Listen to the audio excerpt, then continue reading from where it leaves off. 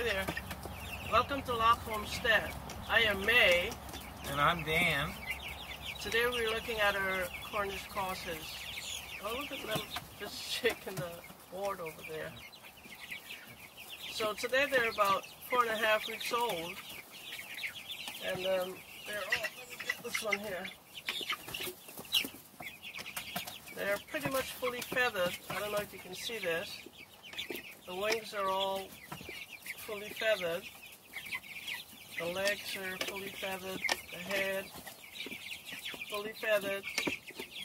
They're doing great. What do you think? They look good. They look Say good. hi. Hello.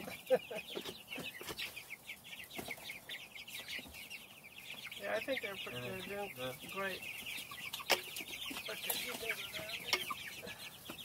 So we started out with about 100. We sold, what, 25? 25. 25 to help with the cost of feeding these guys.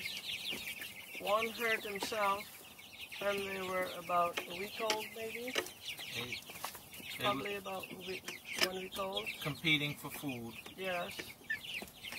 And so we have about 74 of them.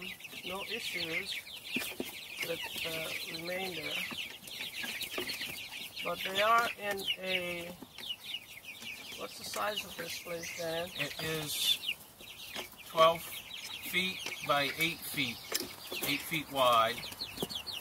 It is constructed with a out of hog wire panels, and we used pressure treated 4x4s as the base. We've notched and lag bolted them together, and uh, so the hog wire panels are are bent on the inside of the of the base. Uh, three three panels, somewhere around a little less than six feet in height, and um, uh, and then we covered the the panels with one half inch um, uh, hardware cloth mesh, and we also under on the underside of of the uh, structure, it's all lined with har- har- hardware cloth. Uh, the reason for that is to keep uh, small rodents, especially weasels, from being able to enter the structure. They would basically come in and kill our whole flock of birds if they were allowed to enter. Everything's wired together. It's pretty secure.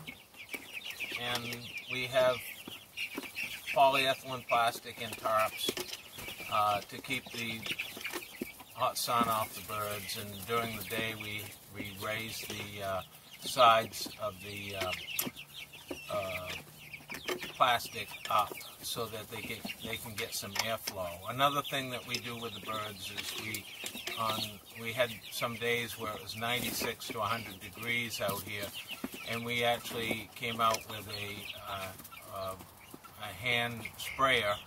And we actually misted the birds. Um, they didn't think they liked it very well, but, uh, but it, it helps.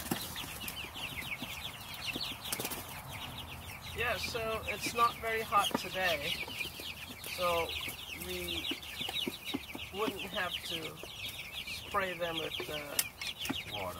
with cold water, so they're pretty much doing all right. So, like I said, they're about two and a half weeks old today. I mean, sorry, four and a half weeks old today.